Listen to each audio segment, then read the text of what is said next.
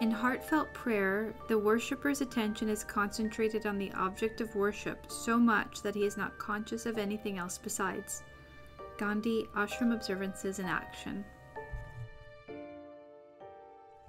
The kind of concentration that Gandhi is describing here, which is difficult to achieve indeed, brings us down to a very deep power within us.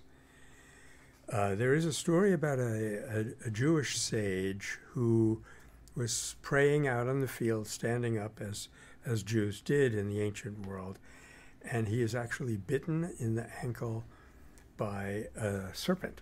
Later on, he commented on that and he said, Woe betide me if I had even noticed it.